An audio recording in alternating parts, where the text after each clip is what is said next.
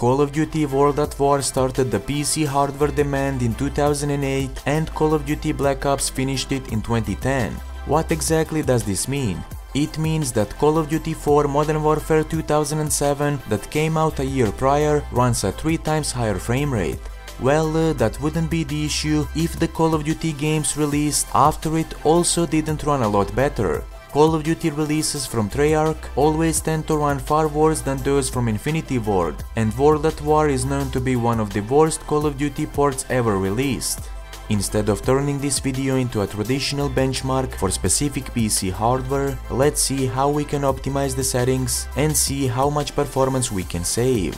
Before we proceed with the optimization process, uh, download and install uh, LowSpecs Experience. The download link for LowSpecs Experience is available in the video description. LowSpecs Experience is a PC video game optimization solution that I developed uh, that allows you to optimize your favorite PC games for maximum performance. So first of all, start the installation for the LowSpecs Experience.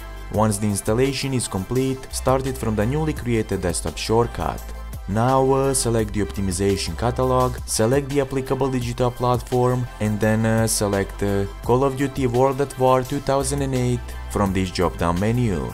Once done, uh, press the load the optimization package. If the low specs experience does not automatically detect a supported game version on your system, manually select the game installation directory, press OK and the optimization control panel will load. Once the optimization control panel has loaded, select the desired optimization presets and the rendering resolution for the game. Feel free to experiment with the optimization presets and rendering resolution to see what works best for your system and now uh, to apply the optimization, press the execute optimization button and then uh, start your game. Also, if you are unsatisfied with what you see, you can easily remove the optimization effects. That will do it for this video. If you found this video useful, be sure to like and subscribe. Until next time, happy gaming!